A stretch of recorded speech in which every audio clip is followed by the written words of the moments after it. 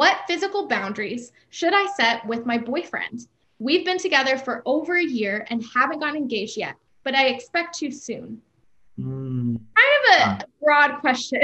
yeah, this this is the one that I think is especially in college campuses are debated till the cows come home, Mm, right? true. And there really isn't exact. The Bible doesn't say, and this is the boundaries for a dating relationship. Don't you wish that it did?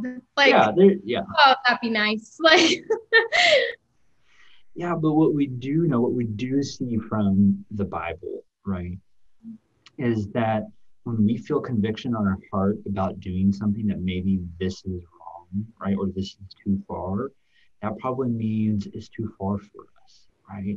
Because everybody's different, right?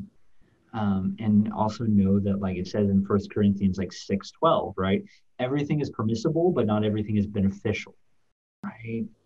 And God does not want sexual immorality to happen in a relationship, right? So, what is too far? What is not?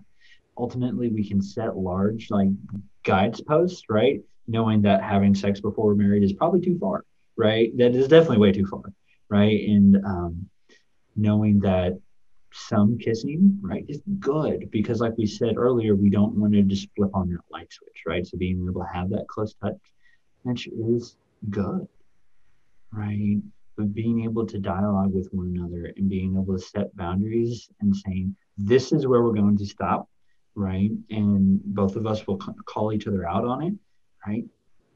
And it's even better to set boundaries one step um, beyond be, before where you want to go, right? So if we don't want to take each other's clothes off, let, let's leave boundaries at making out, right? Because as natural humans, we're always going to push the boundaries, right? So let's put our, our fence post even closer to where we don't want to go.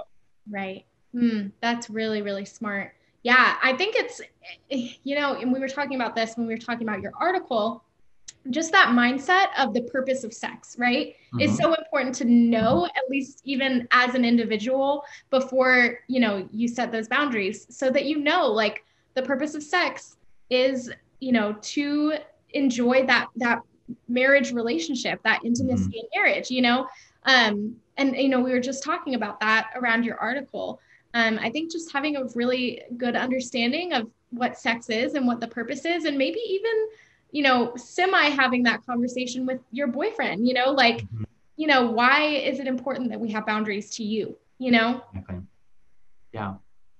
So good. Yeah. And it's a it's a hard place to be in. I feel like that is a, It a difficult place when you're like borderline engaged, but not Mhm. yet. So it's like, can we have this conversation yet? Um, Mhm. should we? Should I just like set a boundary? Like it's it's very difficult. I feel like when you're in that stage pre-engagement, but seriously dating. Hmm Yeah. What is permissible? What's not? Right.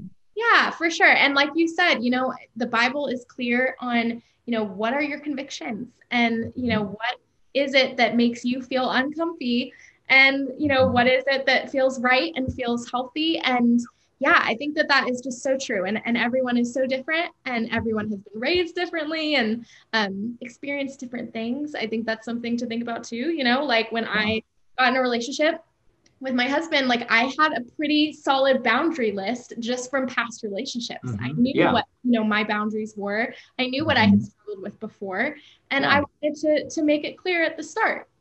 Yeah. I mean, I've heard some couples say that um, we didn't kiss, right? Because we'd already experienced that with other people and we didn't want to influence that um, with our relationship because we wanted it to be just about dating.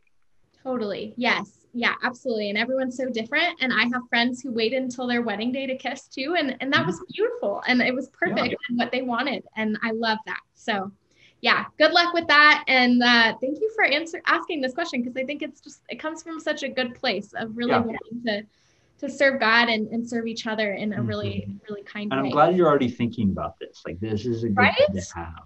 Yes, so good, so good, even before being engaged, to already be kind of opening the door for that conversation.